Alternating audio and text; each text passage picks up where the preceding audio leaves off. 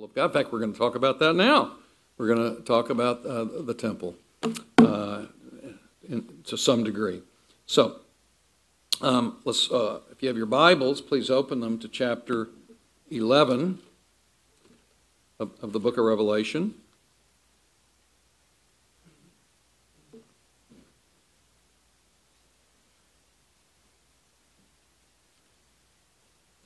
Chapter 11.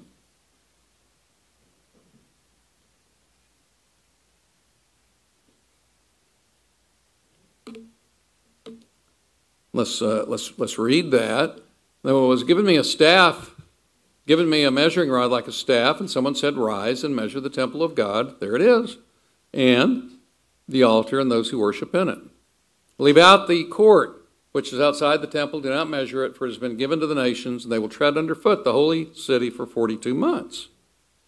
And I will grant authority to my two witnesses, and they will prophesy for 1,200 uh, in 60 days, clothed in sackcloth. These are the two olive trees and two lampstands that stand before the Lord of the earth. And if anyone desires to harm them, fire proceeds out of their mouth and devours their enemies. And if anyone would desire to harm them in this manner, he must be killed. These have the power to shut up the sky in order that rain may not fall during the days of their prophesying. And they have power over the waters to turn them into blood and to smite the earth with every plague as often as they desire. And when they have finished their testimony, the beast that comes up out of the abyss will make war with them and kill them, overcome them and kill them. And their dead bodies will lie in the street of the great city, which mystically is called Sodom and Egypt, where also their Lord was crucified. And those from the peoples and tribes and tongues and nations will look at their dead bodies for three and a half days and will not permit their dead bodies to be laid in a tomb. And those who dwell on the earth will rejoice over them and make merry, and they will send gifts to one another, because these two prophets tormented those who dwell on the earth. And after the three and a half days, the breath of life from God came into them, and they stood on their feet, and great fear fell upon those who were beholding them. And they heard a loud voice saying to them, Come up here. And they went up into heaven in the cloud, and their enemies beheld them. And then there was judgment. So um, let's ask God's blessing on His word here. Let's pray. Lord, we do ask again, uh, as uh, we read these words and hear these words, cause us to keep them so we'll be blessed. But Lord, ultimately, we want to be blessed in order to reflect your honor and glory. In Christ's name, amen. Okay. Um, a number of years ago, uh, a very close friend uh, of mine bore a stillborn baby. And uh, we were talking long distance over the phone a few nights later. Of course, she was quite upset. She asked me, she was a believer, she asked me what should her response be to the loss of her child. Uh, before I could answer very much, she went on to explain what she was thinking. She said, I know I'm a saved Christian and will be with God in eternity, but how am I supposed to react to this? How do I know that God won't take my two other children? How do I know He won't take my husband? And so I'm living in fear every day that just as one of my child has just been taking, other of my children maybe, and, and, and maybe my husband, I know I'll live with God for eternity, but how can this drive out my fear? It's like we're ducks in a shooting uh, gallery. Why shouldn't we fear greatly? Why shouldn't such fear paralyze us? And if you read through the letters of Revelation, some of the churches were going through uh, some really bad persecution. In fact, we even have the statement in uh, to Smyrna in chapter 2 and in verse uh, 9, he's, Jesus says to them, I know your tribulation, your poverty, but you're rich, and the blasphemy by those who say they are Jews and are not, but a synagogue of Satan. He says, Do not fear what you're about to suffer. The devil's about to cast you into prison. Whoa. Um, so, uh, why is it that we are not to fear? The people in uh, Asia Minor, certainly from persecution, uh, in some of the cities, they were fearing. And, uh, and I think that John writes chapter 11 here to answer this question of why we should not fear, despite what's happening to us, even to what happened to my close friend. Verses 1 through 2 give us the beginning answer to why we should not fear. Let's read that again. And there was given, and by the way, it doesn't look like this is an answer to why you shouldn't fear. Okay? but we'll see. And there was given me a measuring rod like a staff, and someone said, Rise and measure the temple of God and the altar and those who worship in it. And leave out the court which is outside the temple. Do not measure it, for it has been given to the nations, and they will tread underfoot the holy city for 42 months. Now, uh, this passage is filled with uh, issues that Christians debate over. For example, is this a literal temple or not? Later, are the two witnesses two individuals with supernatural powers, or are they something else? It's uh, are they Elijah and Moses? Are they Enoch and Moses, or Enoch and Elijah, Paul and Peter, who were martyred? Who are they? So uh, this this is a very hard passage. So let's try to look at it. Now there are three ways to understand the temple in these verses.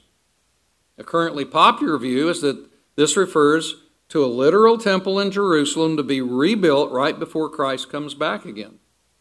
And the measuring uh, refers to God physically protecting Jews taking refuge from persecution in the inner parts of that temple. So it's a literal temple, physical temple, and I think many of us have heard, uh, maybe some here who believe, there will be a temple built in Jerusalem uh, either during the time of the Antichrist, probably, or in, at some point in the millennium. Um, now, a second way to view this, which is also literal, by the way. So the first view I've given you is, is, is part of the futurist literal view. The second view is the past literalist view. It's called preterist.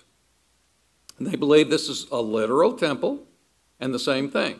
Jews will find refuge in the temple but it happened in 70, right, right before 70 AD. It's all been, it's all been uh, uh, completed, okay? So that's what preterist means. It's actually a grammatical term that means past, a past tense. But it's the, the view that uh, uh, this is describing a past event, not future or present. A third view sees the temple, altar, and worshippers as symbolic, but not symbolic only for Jewish Christians at the end of time, but symbolic for all believers living throughout time who will be protected spiritually by God. I believe, as we're going to see, I think that's what the measuring is protection. Okay? So, it's this, it's this view which I think is in John's mind. That is, the, the temple is symbolic for Christians throughout the church age. The temple stands for God's presence with us. And now I want to try to say why I believe that. I want to give a reason for the particular temple hope that's in me. So, uh, first of all, how, how, do we try to figure these things out? Um, well, there's a wonderful uh, principle, and it's called let Scripture interpret Scripture. If you do that, if you do that rigorously, it'll be amazing. And one way to do that is use the margins in your Bible because those margins will show parallels and allusions to the Old Testament. Uh, even like in Revelation, they're not only allusions to the Old Testament, they're allusions to Jesus and what he said and what he did. It's amazing. In fact, there's a whole book called uh, um, The Synoptic Tradition in the Apocalypse. Apocalypse is another word for Revelation. So that's what we're going to do. We're going to let Scripture interpret Scripture. So, we have the phrase, look at that phrase there. And they've now put a microphone behind me because they say when I turn around they don't hear me, so I'm, I'm kind of.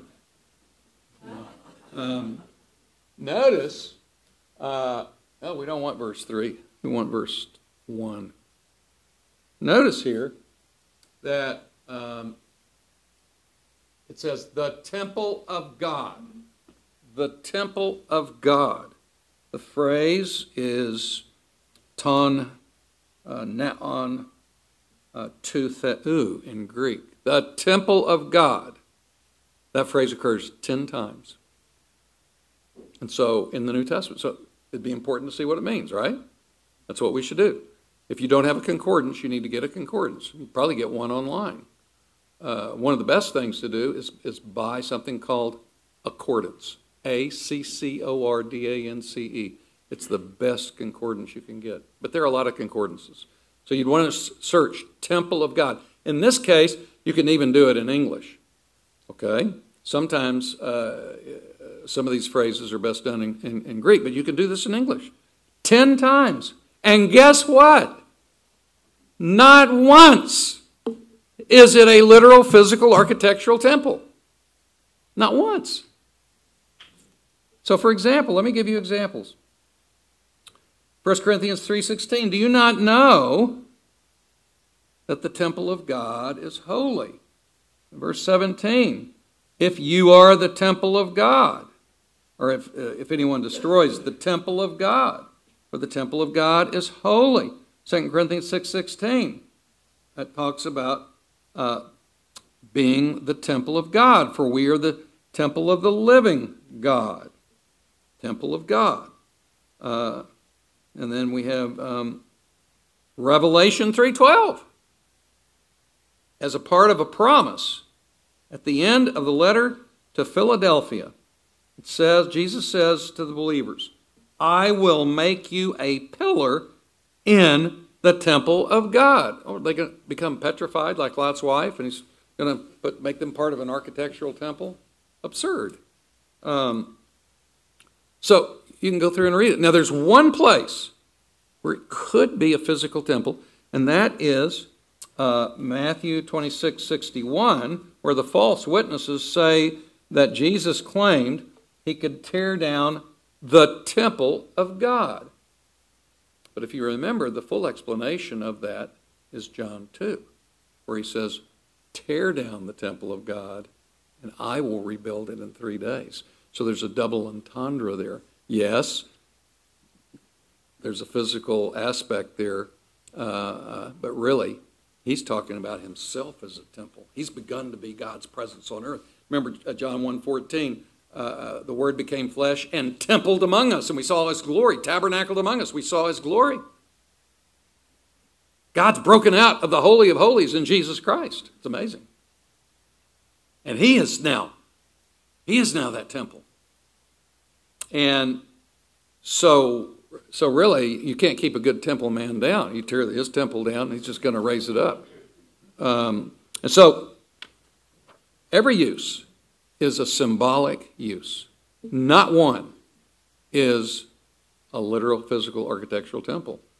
So, what should we do with chapter 11 and verse 1? Uh, was given me a measuring God like a staff. Someone said, Rise and measure the temple of God and the altar and those who worship in it. Sounds like a physical temple. But, and it's possible. That's possible. All things are possible, but not all things are probable. And the concordance study shows what's probable. I think we should let Scripture interpret Scripture. Even in the book of Revelation, we have um, two uses.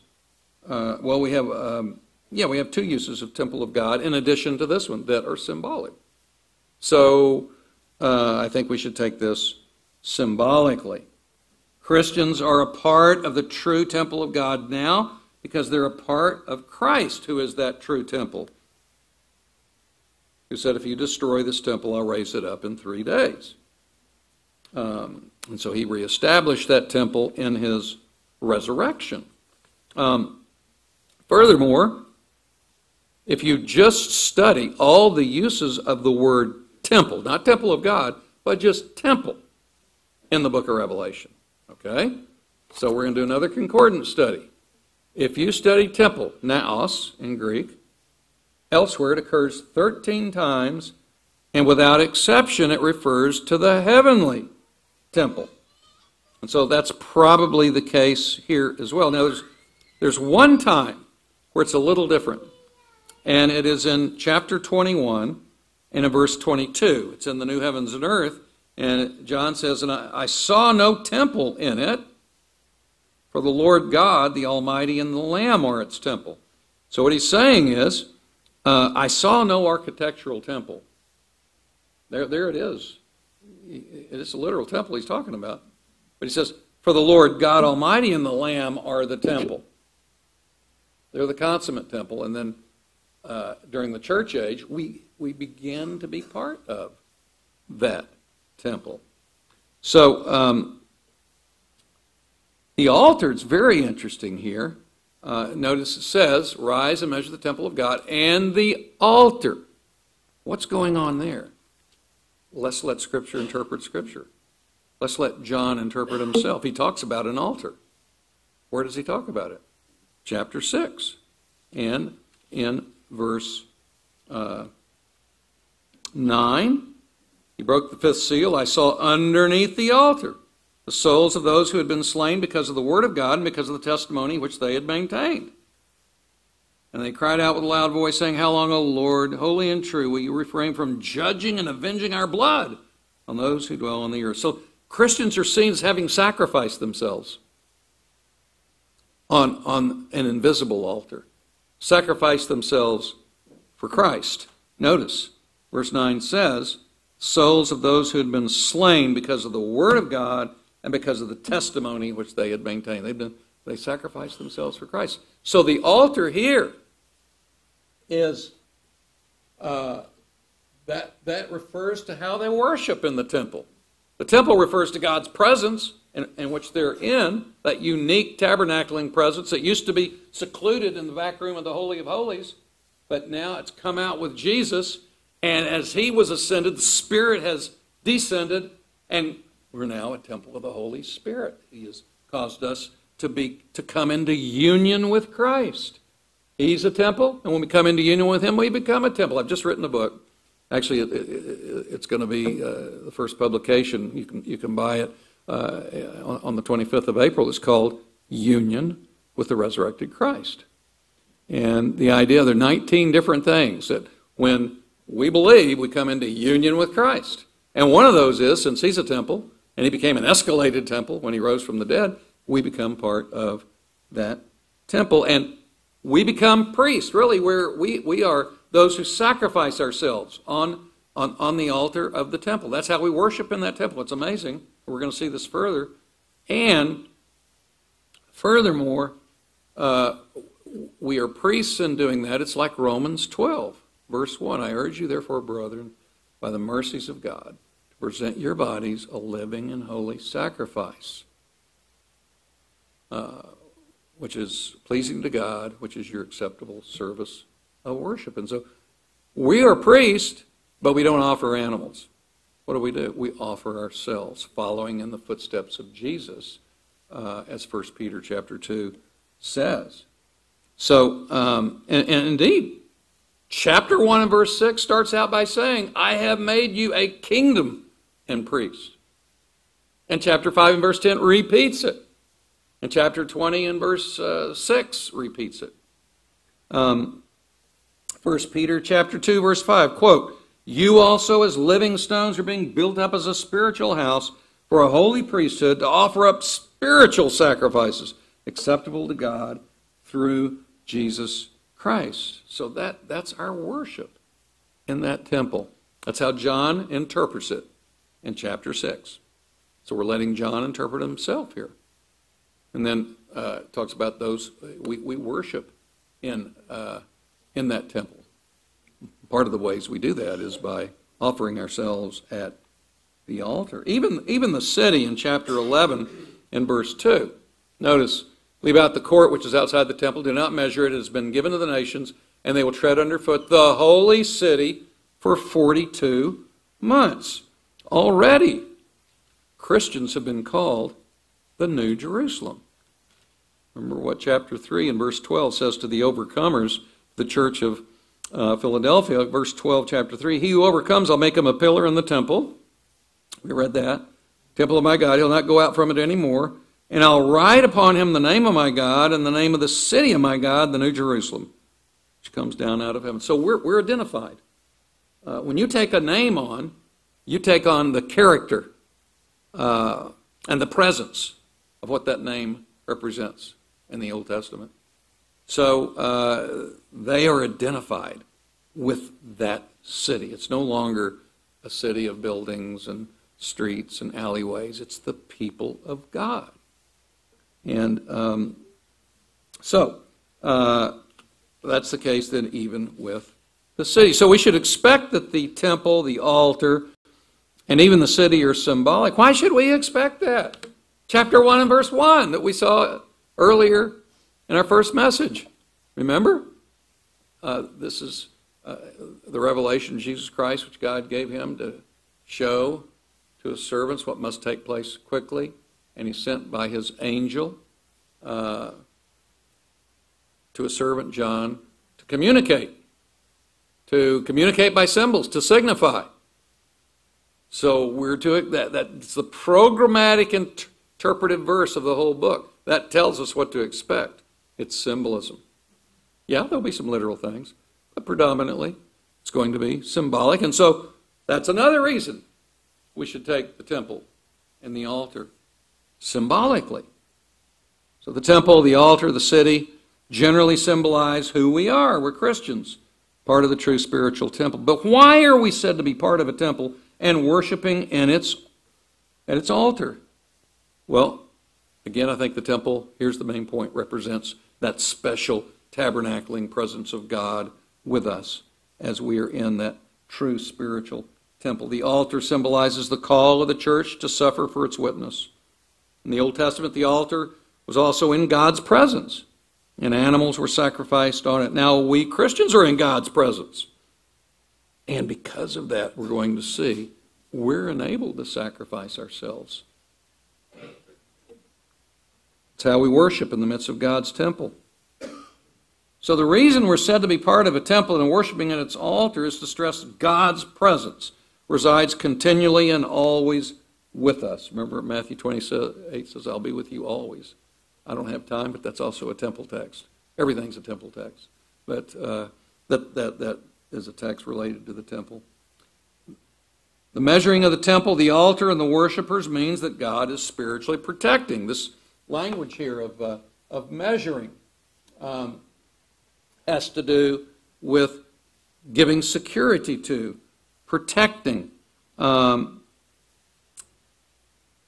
God is guaranteeing that His presence will be with us no matter what happens. He'll never forsake us. And in fact, the New Jerusalem, if you read about the New Jerusalem in chapter 21, verses 15 to 17, it's measured. Different parts of it are measured. Why is that? Because the New Jerusalem, which represents the people of God, is secure. Nothing can harm it, nothing can uh, violate it, nothing can uh, corrupt it. It's secured by God. And so the same thing is true here. With the beginning of those who are part of the temple, uh, they, are, they are measured. So, in fact, this measuring comes from Ezekiel 40 to 48. So you may remember that's a prophecy about a big, huge temple that's to come. And the measuring there is used 50 times say this temple's really going to be secure. And actually, in chapter 21, it's the fulfillment of that Ezekiel vision. So God's people will be eternally secured. And it begins spiritually now. In this life, we are secured spiritually by the Lord. But, big, big exception verse 2. Uh, uh, leave out the court of the temple, which is outside the temple. Do not measure it, for it has been given to the nations, and they will tread underfoot the holy city for 42 months. Well, what's that about? Well, the outside court of the temple could symbolize the false church as distinguished from the true church. So the false church is being excluded from God's saving presence and will suffer spiritual harm, perhaps uh, uh, judgment. It's a possible view, but I think the better view is that it represents this outside part of the church, does represent the true church during the church age, but it represents the physical part of the church. The physical side of the true church is not measured. But the spiritual part is measured in this age. We're secured. And at the end of the age, that security will extend to our physical resurrection body. Now we're raised spiritually. That's resurrection, by the way. Actual resurrection has begun. We've begun to fulfill the resurrection prophecies of the Old Testament, like Daniel 12, 2. It's, we've actually been raised. That's what regeneration is, spiritually. And at the end of the age, we will be raised physically. That'll be the consummation of that spiritual regeneration. But in this age, we are not physically raised. We are spiritually raised. God secures that as we are in His presence in the temple, the invisible temple. But we are uh, not, our, our, our physical bodies are, are not secured. So, um, suffering is described, I think, in the last part of this verse. Look, look at, look at this. Uh, it says, they will tread underfoot the holy city for 42 months. Remember, I don't think the holy city is a city with buildings and alleys. I think that's the people of God. We've already been identified with the holy city, haven't we? In chapter 3 and in chapter 21, the holy city is, is the people of God. It's not, it's, not a, it's not a structural city. So, um, so we, we're going to suffer, says, for three and a half years, a symbolic time of tribulation. Um, now, that this is talking about, some say, well, this is future. This, this uh, 42 months, which is three and a half years. But if you turn to chapter 12, 5 to 6, it shows that three and a half years actually are the church age. How would we know that? Let's, let's read chapter 12. And you'll remember that chapter 12 is about Jesus at the beginning. He's born in verse 2. And uh, in verse 3, a dragon appears. And in verse 4, the dragon tries to devour the child who is born, probably referring to Herod and the persecution of Herod. Uh, and then uh, she, she gives birth, and then it says he was caught up to God in his throne. So that, that's, a, that's the most abbreviated summary of Jesus and his ministry I've seen. He's born, and he was caught up to God and to his throne. And then, verse 6, if you have your Bibles, it says, And the woman fled into the wilderness, where she had a place prepared by God, so that there she might be nourished for 1,260 days.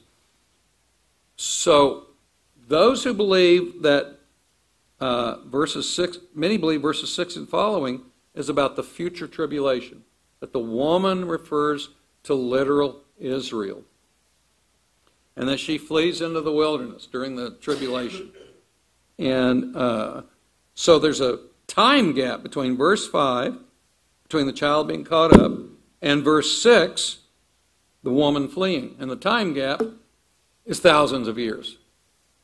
Um, so if one takes a futuristic view of this passage, you have to posit a big multi thousand year time gap between verse 5 and verse 6. I just don't see it. What I see is right on the heels of verse 5, when Jesus is resurrected and ascended, right on the heels of that, what happens? The woman, representing true Israel, the church, flees into the wilderness. That is, uh, suffer, uh, suffers tribulation but in the wilderness, she had a place prepared by God. Now, that phrase, a place, uh, is typically used of the temple. I'm not going to go into that, but uh, if you look at a concordance in the New Testament, the word is topos in Greek. It often refers to the temple, and in the Old Testament, especially Greek Old Testament, refers to the temple for a number of reasons. Uh, I think this is referring that during the three and a half years 1,260 days, the woman has a place prepared for her in the presence of God. And it's during the church age. It follows right. Her fleeing the wilderness follows right on the heels of Christ's ascension, not thousands of years later. To take this futuristically, you, you, you have to plug in a thousand, multi thousand year gap. I don't think that it works. So, um, Revelation 11, 1 to 2. Here's the main point is saying that God's presence with us protects us spiritually through suffering. Okay? Verse 1, we're in the temple. And verse 2, we're outside in the courtyard. By the way, remember that courtyard is, is, is a place of sacrifice. And so we're, we're not intended to be secured because our whole mission is to sacrifice in various physical and material ways. So God's not going to secure us for that. Uh, he's not going to protect us from physical suffering because He's calling us to sacrifice ourselves in, in multitudinous ways. So God's presence with us protects us spiritually through suffering. God does not promise, here's a key thing, there's no health and wealth gospel here. God does not promise to bless us materially or physically in this life if we're faithful to Him. He promises to protect us spiritually and bring us safely to eternal rest in a final resurrection body. I do believe in the health and wealth gospel, but it's true at the end of the age. There's nothing healthier than a full resurrection body. And that's why, by the way, I think people who study for the ministry ought to really study hard before they begin the ministry, like doctors.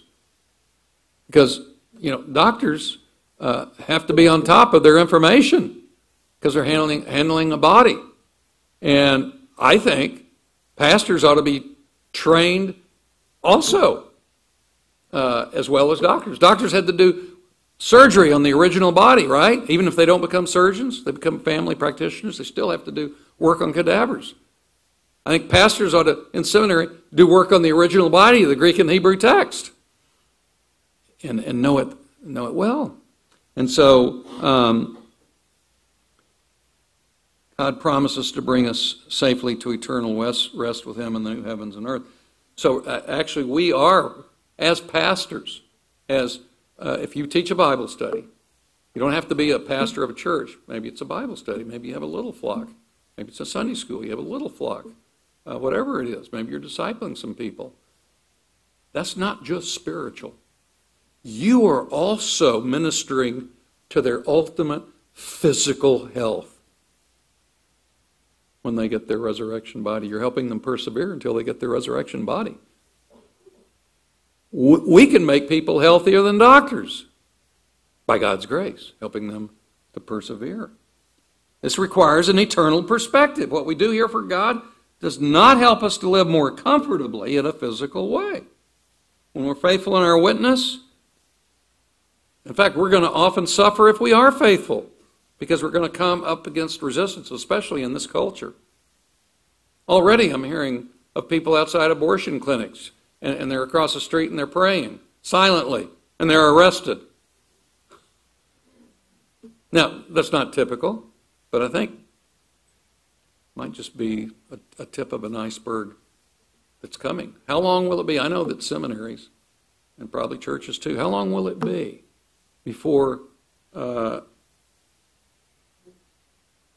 it comes about that, that, that, the state is going to say, uh, you must agree to transgenderism, to homosexuality, to lesbianism, uh, and if you preach against that, you're going to jail because you're preaching against civil rights. I think that's around the corner. I, I, I, I think we better prepare ourselves. I don't know how long that'll be. When we're faithful in our witness, we sometimes suffer in various ways from those who reject our witness. Take Polycarp.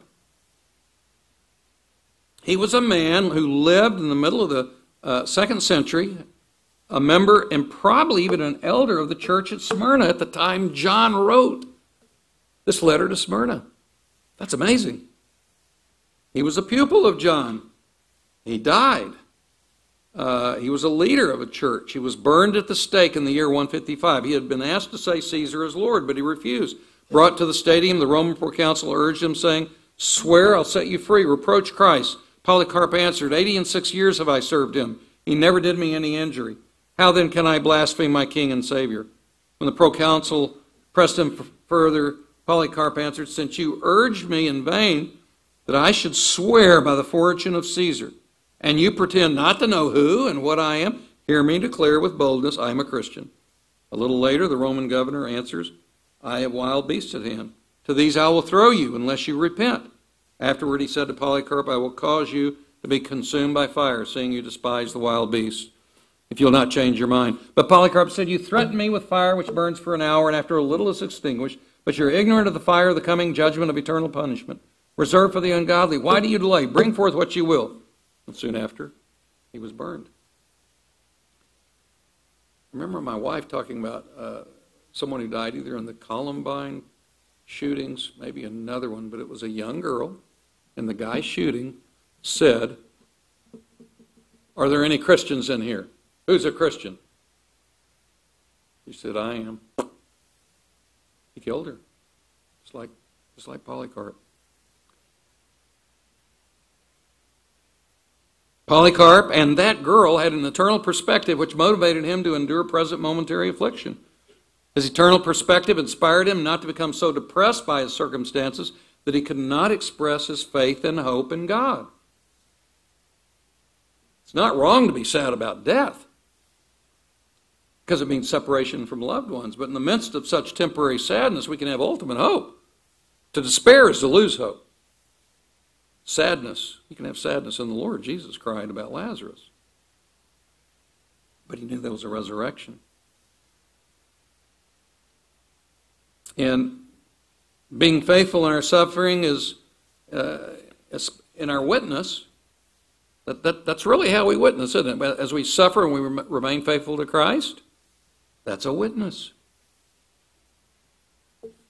The invisible powers of darkness, not just people, the invisible powers of darkness can bring suffering upon us and discourage us from being faithful to God and make us a bad witness. One of the things the Puritans uh, you know, there's really a revival in reading the Puritans because they're, they're so good. And, and, and one of the things they talk about repeatedly is dying well. Whether it's a natural death or, or, or persecution, whatever it may be, but, but being a witness, trusting the Lord um, in our death. Not just our life, but our death. The invisible powers can discourage us. That's what happened to Job, isn't it? Remember, Satan uh, told God, hey, if you take, take away Job's possessions and his family, he'll curse you. And so God says, go do it. And so it happened. And Job uh, said, um, he doesn't despair. He says, The Lord gave and the Lord has taken away. And then he gets his body. The, the devil says, "Oh, if you attack his body, he'll curse you. He won't. He won't believe in you."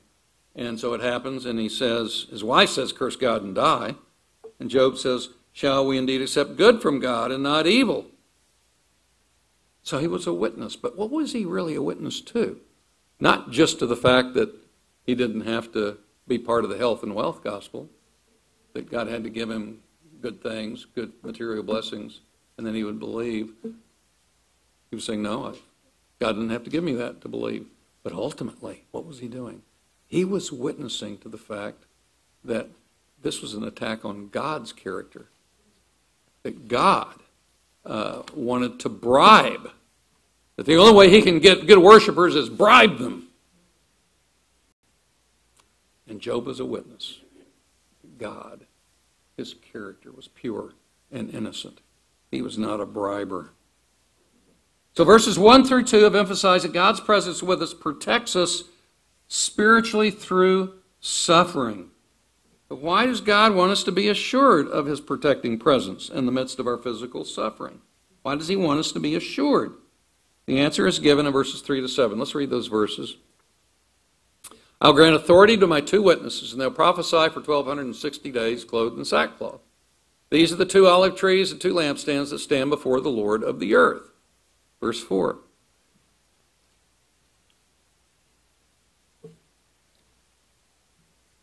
If anyone desires to harm them, fire proceeds out of their mouths and devours their enemies. If anyone would desire to harm them in this manner, he must be killed.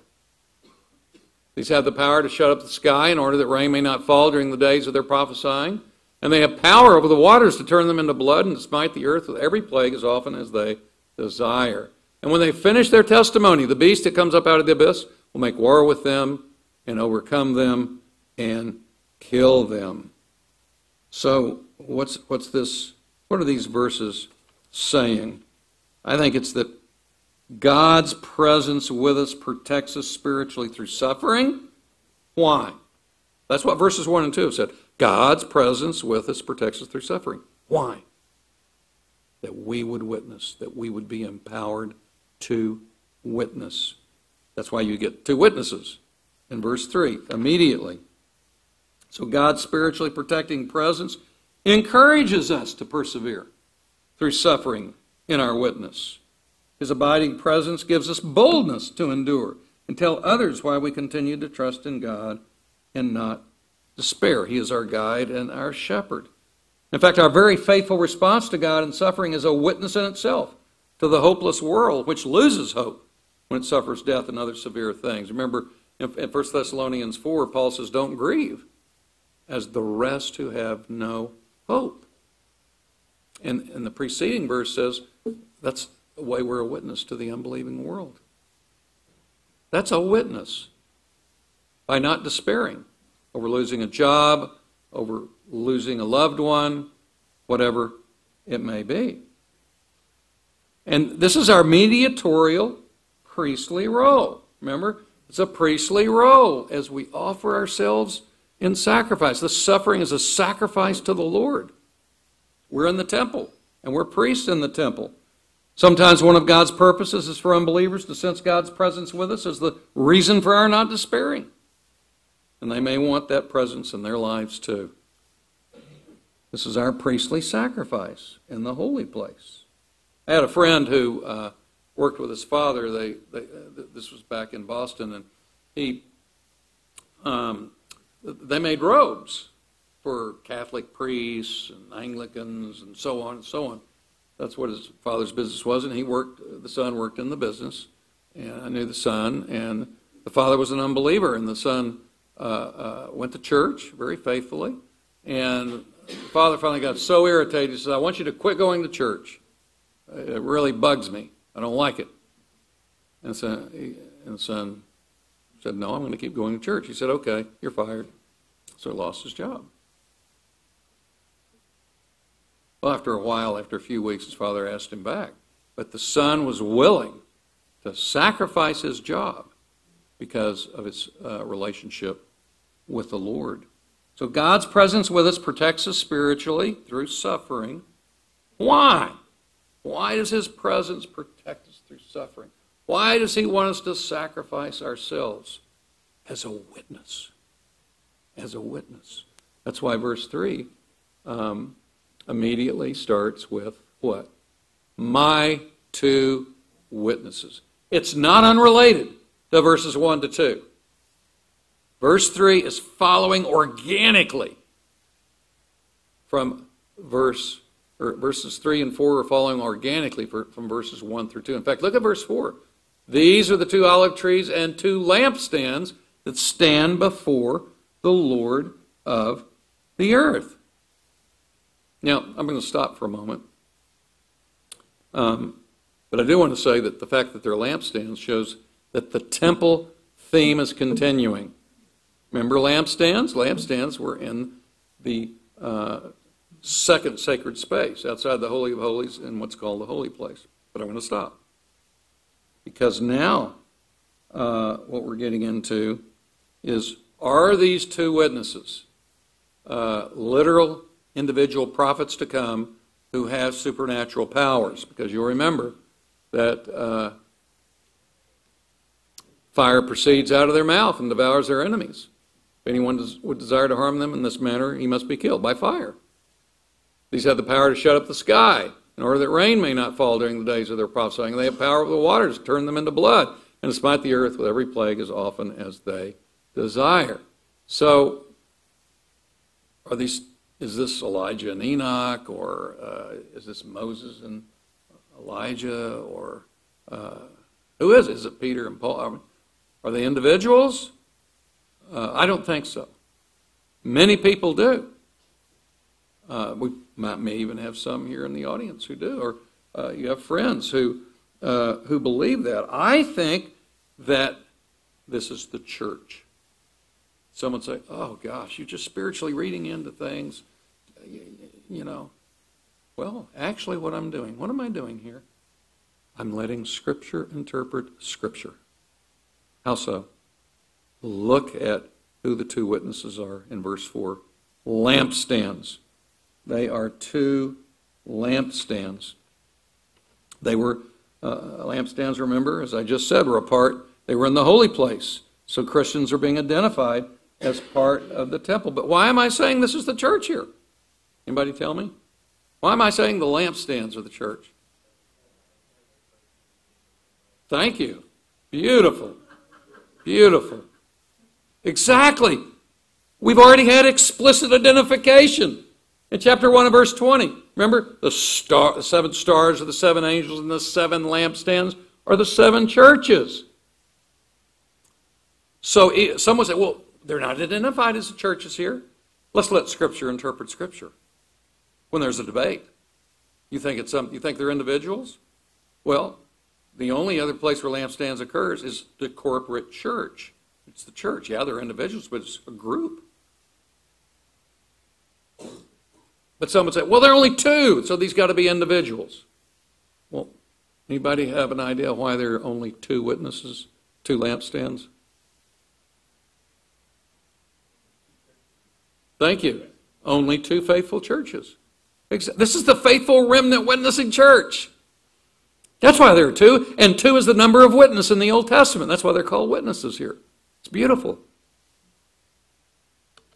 So I hope you can see what we're trying to do with these symbols is, is not just willy nilly allegorize or read in wild spiritual ideas. We're, we're letting John interpret John, or we're, we're letting the Old Testament interpret the New. And why are they lampstands? Well, because they're seen as a part of the temple, and also they're to shine their light as witnesses. So I don't think these are two literal individuals, but symbolic of Christians generally. Proverbs 16:15 says, "In the light of a king's face is life. If this is true of earthly kings, how much more with we who are spiritual kings and priests?" Because this phrase here, um, two olive trees and two lampstands, that actually comes out of Zechariah 4. I'm not going to go back there. But in Zechariah 4, the two olive trees uh, represents uh, uh, a kingly figure and a priestly figure.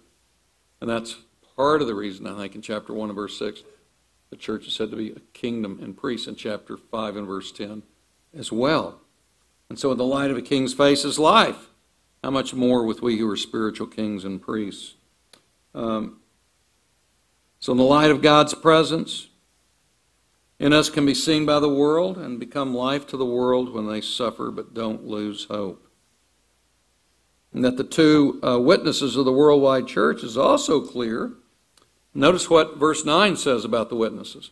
And this is another reason why I think that this is uh, the worldwide church and not two individuals.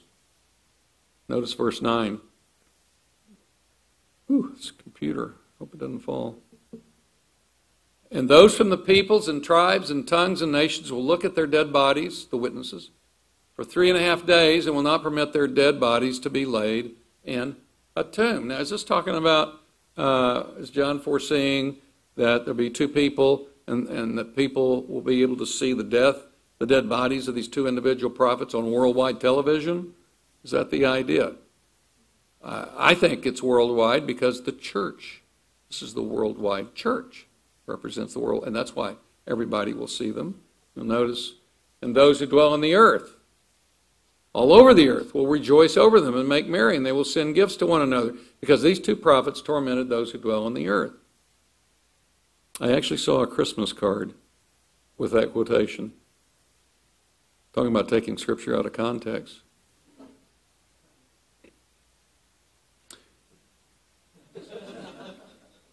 So, um, verse 7, notice what verse 7 says.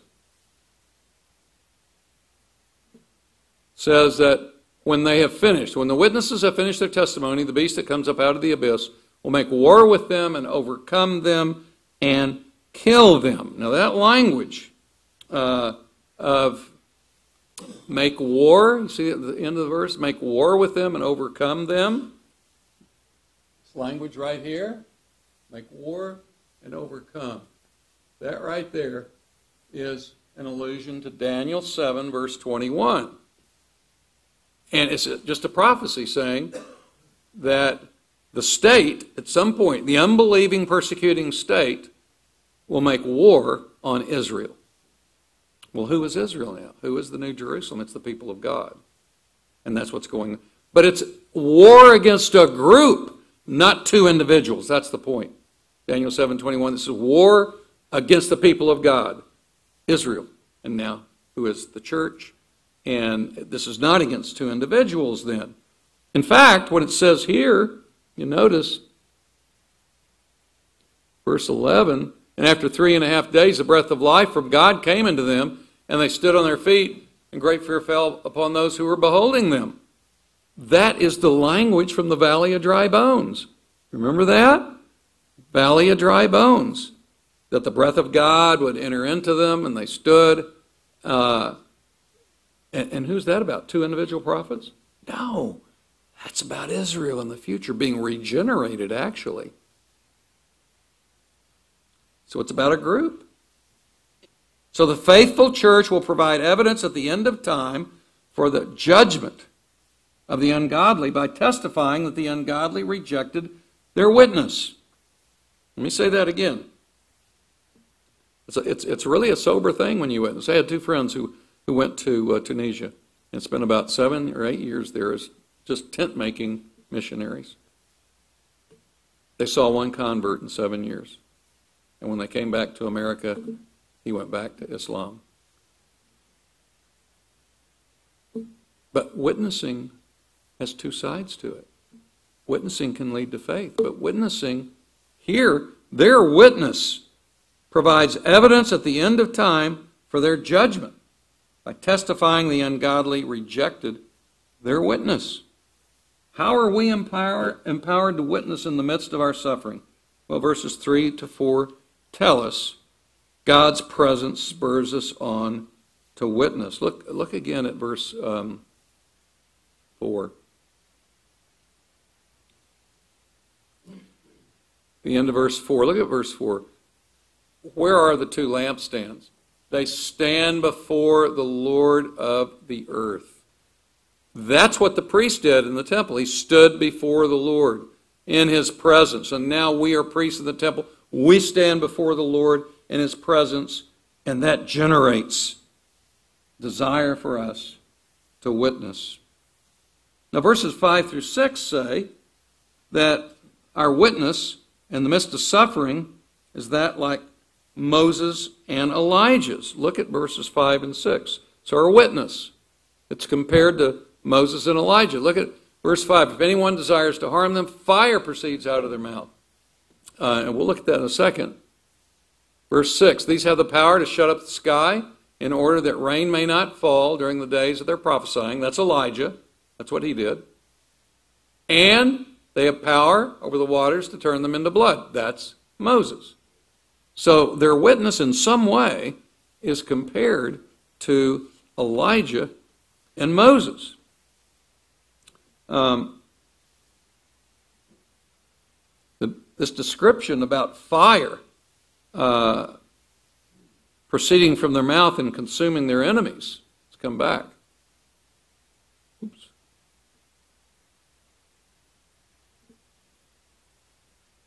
If anyone desires to harm them, fire proceeds out of their mouth. That's Elijah. Second Kings, chapter 1, verse 10. When soldiers of the evil king of Israel tried to capture Elijah, fire came down from heaven and consumed them. So again, that, that, that's part of what Elijah did. Uh, so, what is it? If this isn't a supernatural fire, what is it? If these aren't literal flamethrowers coming out of individuals' mouths, what, what is it? We have to use our concordance.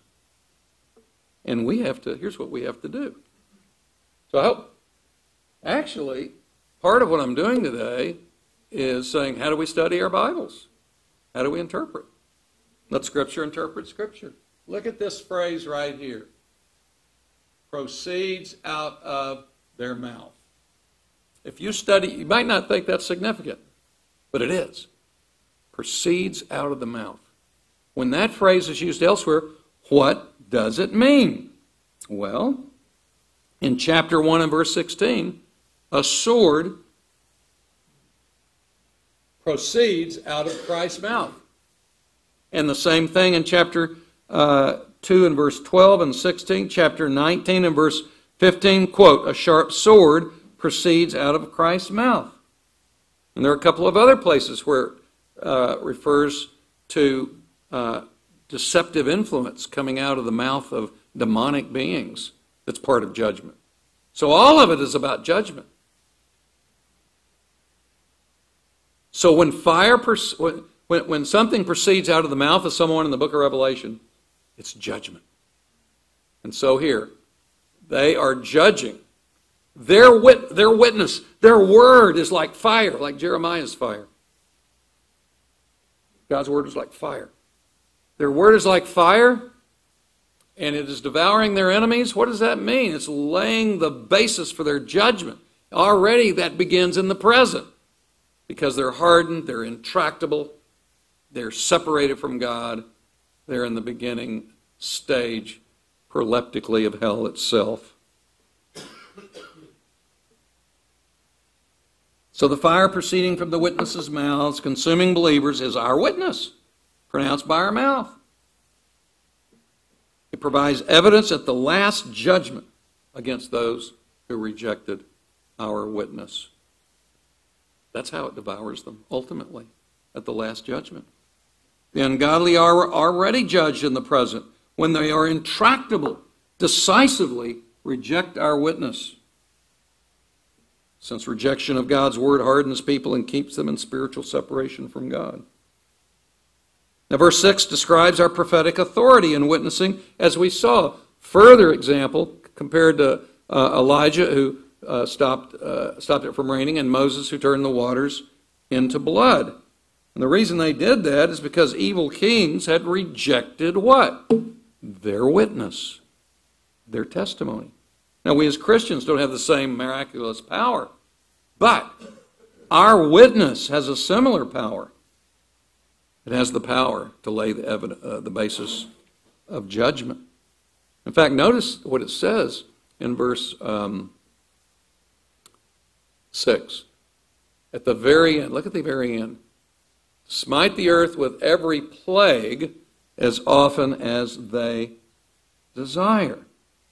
Now, these, these plagues are very interesting because if you do a word study on plague in the book of Revelation, one of the places it occurs is at the very end of the book, chapter 22 and verse 18. You might, it's a very famous verse.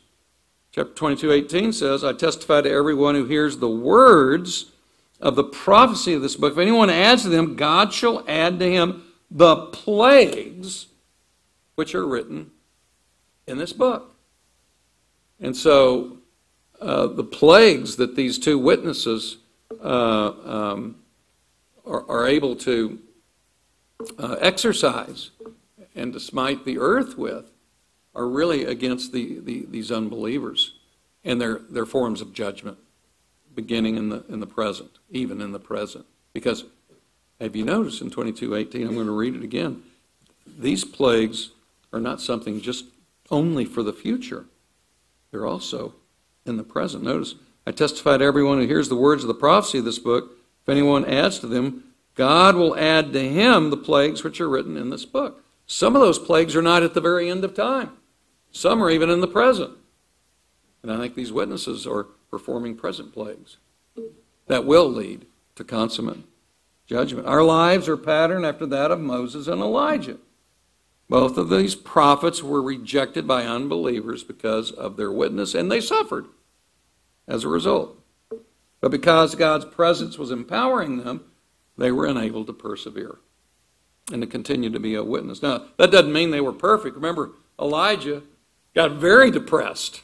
I mean, we, we, we're not perfect believers in this life, obviously. He became very depressed. He even wanted to die. He says, Oh Lord, it's enough now. Oh Lord, take my life. At least he did that instead of committing suicide, but he wanted God to do it for him. But above all, the pattern of the witnesses in verses 1 through 11 is meant as a replica of Christ's career. They're like Christ. Look at the pattern here. I'm going to uh, say it now. One, Christ was a faithful witness to God. That's from chapter 1 and verse 5, as they were. Number two, this witness continued for about three years, three and a half years, roughly, as the witnesses. Three, it resulted in satanic opposition and suffering. Four, Christ's witness ended in violent death. Five, people rejoiced over his death at the cross. And then there was vindication through resurrection. Same thing in this passage. This is why chapter 14 and verse 4 says this We follow the Lamb wherever he goes. And as priests, we die little deaths every day. Elisabeth Elliot uh, uh, wrote this. How do we sacrifice ourselves? We die little deaths every day. It may be dying a little death for your mate, uh, doing something you really don't want to do, um, but it's best for your mate. It may be doing something for your boss, something you really don't want to do, but the boss is demanding it, and you suffer, and you persevere, and you do it as a sacrifice to the Lord. Obviously, there's some qualifications on these things. I mean, if your boss tells you to go commit suicide, you're not going to do that. Okay? So, God's presence with us protects us spiritually through pain to empower our proclamation. Let me say it again. Verses 1 to 6 are saying God's presence with us protects us spiritually through pain to empower our proclamation. Do we get depressed over circumstances when they're bad? We may be going through hard times because our witness has been rejected. Unbelievers may react badly towards us because we remind them they have no hope. And that's what's going on here. And that reminder can torment their consciences. Look again at verse 8.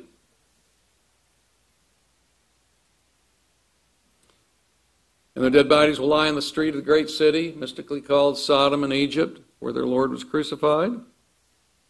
And those from the peoples and tribes and tongues and nations will look at their bodies for three and a half days and not permit their dead bodies to be laid in a tomb. And those who dwell on the earth will rejoice over them, make merry. They'll send gifts to one another. Because, why? These two prophets tormented those who dwell on the earth.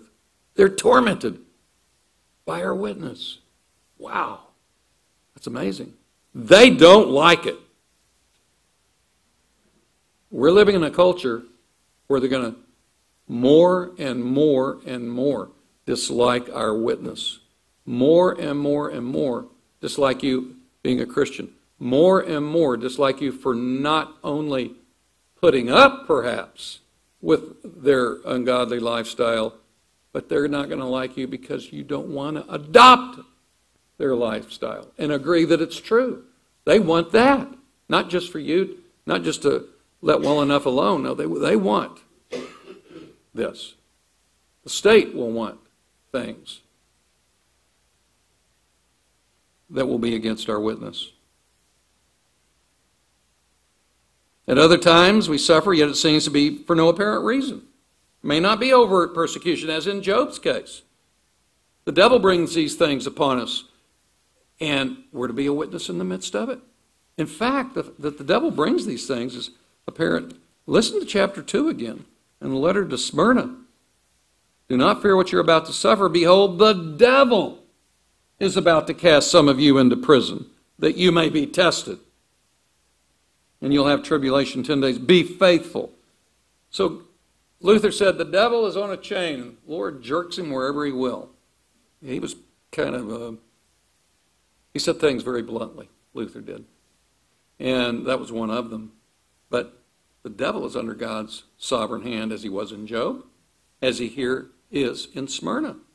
The devil bring, can bring these things to try to ruin our witness. Sexual immorality, whatever it may be.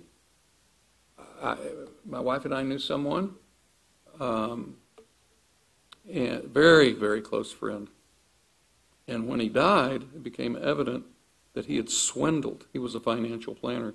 He had swindled elderly woman, women out of thousands, thousands of dollars, and left his own wife penniless.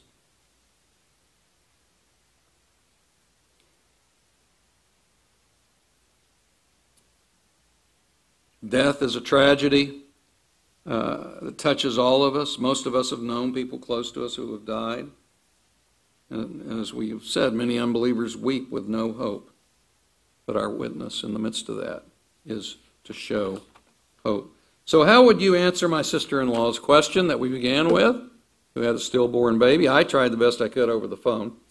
But I believe Revelation 11, 1 through 6, is a vital part of the answer. Physical part of our temples have not been measured or guaranteed by God to be protected. But God has guaranteed to protect us spiritually, enabling us to have that altar priestly ministry. We're called to suffer in various ways, whatever those ways may be. The state may not be persecuting you now, others may not be per- persecuting you, but you know, we die little deaths every day. We sacrifice in various ways every day. It may be for a friend. Uh, your friend wants you to do something and you really don't want to do it, but it's not against the Bible. And uh, say, I'm going to perform a priestly ministry today. You know, it really does transform the way you look at things when you say, Today, I'm going to be a priest. What's a priest? One who mediates between God and humanity. Now, priests mediated to Israel, and so we can be priests to our believing brothers and sisters. But priests also mediate between God and the dark world. I teach in a seminary, so I'm around believers all the time, and I pray, Lord, bring me unbelievers, cause them to cross my path. And, um, and of course, that happens in some way because my seminary students will go out and they'll witness to unbelievers. I know I have that sort of a witness, but um, I often don't see unbelievers.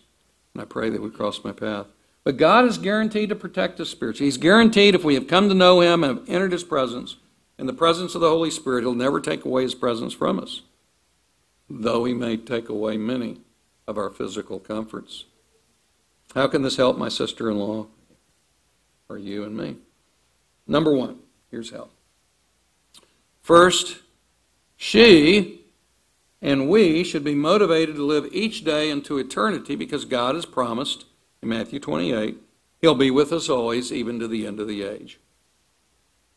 So should, we should be comforted with God's presence, be fellowshipping with Him in His Word and prayer. That's how really we encounter God's presence, typically in the Word and prayer. As we are in the temple worshiping. That, that's part of temple worship. Secondly, furthermore, each day we live, we can get to know God better through His Word and prayer. And as we do that, we find out how much God loves us. First John says, perfect love casts out fear. The more we're assured of God's love for us, the less we're going to fear. Are you assured of God's love for you? You really believe that God so loved the world that he sent his son for you to die on the cross, to rise from the dead as the Lord God of heaven and earth. Thirdly, as we become increasingly, uh, as we increasingly enjoy God and know His loving purposes for us, we can trust Him to be our guide through each day in order ultimately to get to the goal of enjoying eternity. We have a calling to become priests, offering ourselves as sacrifices. This should consume us and take away our fear. I remember when I first started uh, to preach, it was horrible. I said, Oh my gosh, I got to get up before these people, and they're going to look at me. for maybe 35 or 40 minutes. Just me. I, I don't know if I can take that. I was very self conscious. And then I found that as I began to prepare for my sermons and I got into the passage that I was going to preach or teach, as I got into that passage, I began to apply it to myself. And I became consumed with what it meant and what it meant for me. And that drove me to preach and drove me to be more conscious of God and His Word and honoring Him than being self conscious. That's anthropocentric. Selfish. So the more I was consumed with the Word, the less I was self conscious. And the more we're consumed with the Word, in this case, that we are priests. Mediating. When you think about that, how can you mediate for your, your mate, your church friends, unbelievers? Well, at the end of time, Christ will vindicate our testimony and finally judge those who rejected it. We saw the resurrection of the witnesses and then this earthquake that's the beginning of judgment there in uh, verse 13. A great earthquake, a tenth of the city fell, 7,000 people were killed, uh, the rest terrified and gave glory to the God of heaven. I don't think they're believers. I think they're like Nebuchadnezzar giving glory to God. That wasn't a real, he wasn't a genuine believer. This is the beginning of judgment here right after the resurrection of the witnesses. So, um, and, and this is really the main point of verses 1 to 14 the vindication of the witnesses through their resurrection. That's how Christ was vindicated. The world had judged him to be in the wrong. The resurrection overturned the false verdict of the world. And so it will be with us. So God's presence with us spiritually, here's the main idea God's presence with us spiritually through suffering. He protects us spiritually through suffering to empower our witness. There's a book called The Persecutor. There's been debate about that book, whether it's an accurate book or not. I, I, I think there's much in it that is. But it's written by a man called Sergei Kourdakov. It's an autobiography. He writes about his life when he was part of the KGB in the Soviet Union. He was the leader of a special squad whose main purpose was to persecute Christian churches. Inflicting terror and suffering upon Russian Christians was his assignment, and he did it well. Usually, his squad attacked small house churches. He, his group would uh, overthrow, overturn the chairs, beat people up, Uh, sometimes almost to near death. One particular house church kept meeting repeatedly, even when their meetings were repeatedly broken up by the KGB squad, and their members were brutally, brutally beaten. Now, Kourdakov noticed in that church a young, beautiful girl, about 20. And he noticed she kept coming, kept getting beat up. At one point, they, somebody spanked her so hard Kourdakov narrates rather vividly, too vividly, that, that her, her legs looked like hamburger meat. That's, that, that's how hard they, they spanked her with their bare hands. Finally, during a third raid they made on this group, there she is again. Sergei Kourdakov sees her. One of his friends is about to fatally kill her. By the way, they were in the Naval Academy, and this is what they did as a side job.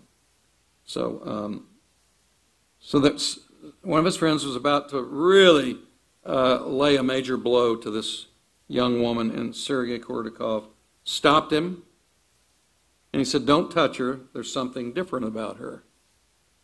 He was stunned by her just being there. It was this young girl's courage and faith and loyalty to God that caused Sergei Kourdakov to begin to consider whether Christianity was true or not. He went through a long pilgrimage before he became a Christian. But when he finally came to Christ, he remembered it was that girl and her courage in Christ that launched him in the direction of believing in Christ. And he concludes his autobiography in gratitude to this brave Christian girl as I conclude this message. Here's what he says And finally to Natasha, whom I beat terribly and was willing to be beaten a third time for her faith. I want to say, Natasha, largely because of you. My life has now changed and I'm a fellow believer in Christ with you. I have a new life before me. God has forgiven me. I hope you can. Thank you, Natasha, wherever you are. I will never, never forget you. She was a priest at the altar. And look at her witness. It's amazing. As I say, some have questioned this account. I, I think it has the ring of truth. So God's presence with us protects us spiritually through suffering to empower our proclamation to the world. I conclude, I wasn't going to conclude with that. My wife hates it when I say I conclude, and I'm going to give another conclusion. She said, Look, I'm ready to go when you say the first conclusion. Here's the second conclusion. I'm glad she's not here. the Heidelberg Catechism. What is your only comfort in life and death? That I, with body and soul, both in life and death, am not my own but belong unto my faithful Savior, Jesus Christ, who with his precious blood is fully satisfied for all my sins, and delivered me from the power of the devil, and so preserves me, that without the will of my heavenly Father, not a hair can fall from my head. Yea, that all things must be subservient to my salvation, and therefore by his Holy Spirit he also assures me of eternal life and makes me sincerely willing and ready henceforth to live unto him. Let's pray. Lord, we pray that your presence will be with us. Increase your presence with us to protect us spiritually through whatever suffering you may bring us, small suffering or big suffering, to empower our witness to the world. We pray this would be for your honor.